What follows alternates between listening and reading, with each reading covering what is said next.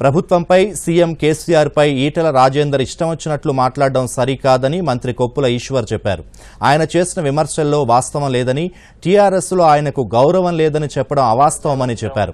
ఈటల గౌరవానికి భంగం కలిగించే ఎలాంటి ప్రయత్నం జరగలేదని టీఆర్ఎస్ను విచ్ఛిన్నం చేసే విధంగా పలుసార్లు ఈటల మాట్లాడారని తెలిపారు.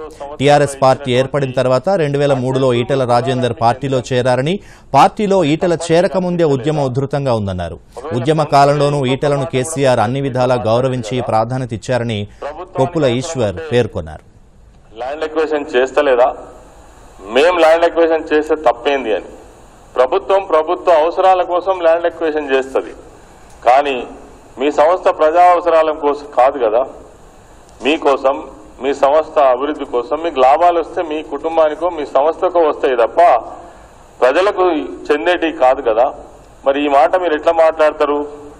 మరి ఉన్నటువంటి భూములు ఏవైతే ఉన్నాయో మీరు ఇచ్చినటువంటిది ఆరు లక్షల రూపాయలు ఇచ్చినవని మీరు చెప్పాను